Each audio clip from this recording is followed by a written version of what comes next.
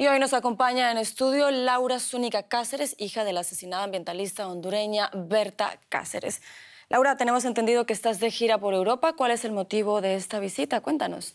Bueno, hemos venido en una gira, este, abogados del, del, COPIN, del caso de mi mami, de Berta Cáceres, un experto internacional que acompañó la construcción este, de un informe que habla sobre la situación este, de cómo se vincula la represa eh, en el asesinato de mi mami, eh, Berta, mi hermana, que es también la coordinadora general del COPIN, un compañero de Río Blanco que se llama Francisco Sánchez. Y bueno, hemos venido acá a recordar que ya han pasado más de dos años eh, del asesinato de mi mami, eh, que es importante mantener la visibilidad porque es un caso trascendente que todavía no ha llegado a justicia.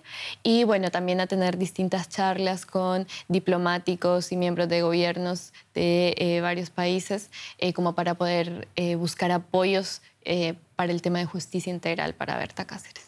Tenemos entendido que también han venido para presentar una demanda contra la FMO. ¿Qué nos puedes contar sobre esta demanda?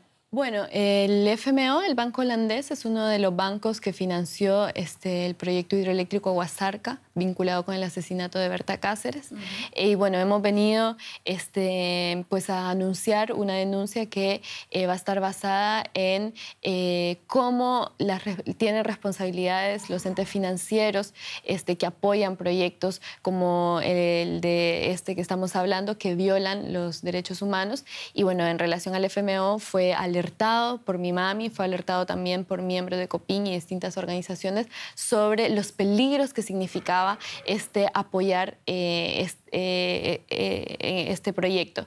Y lo que nosotros vimos es que no se escuchó esas alertas y finalmente tenemos este, un asesinato de alto impacto, pero también muchos crímenes alrededor y entonces entendemos que hay responsabilidades.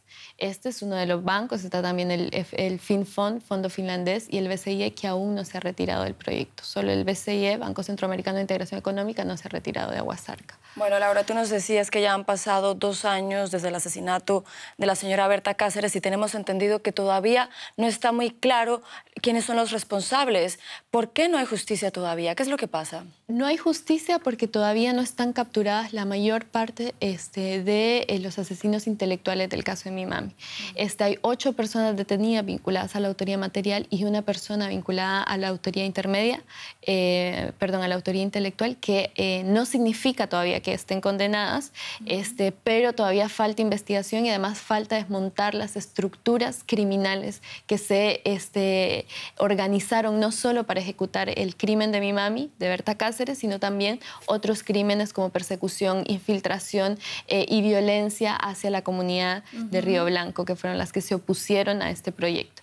Entonces, mientras no pase eso y mientras no haya este, responsabilidades este, en todos los estratos que planificaron este asesinato, no podemos hablar de justicia. Entendemos que es un caso emblemático y justicia para Berta significa también justicia para muchas otras personas que han sido asesinadas en este tipo de casos. Laura Zúñiga Cáceres, gracias por habernos acompañado aquí en Berlín. Gracias a usted.